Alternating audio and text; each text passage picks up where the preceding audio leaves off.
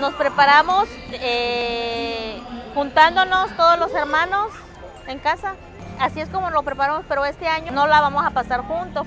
No me fue muy bien este año, pero lo importante es este, que tengamos salud y de hecho pues eso es lo que estoy este, no convenciendo a, mi, a mis hijos, sino inculcándoles que es lo más importante, no estrenar, incluso hasta no tener una cena de Navidad tampoco, lo más importante es que la familia esté unida, esperanza y fe porque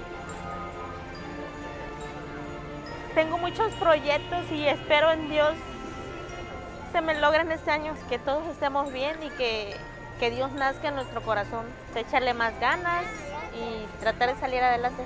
Feliz Navidad, feliz Año Nuevo.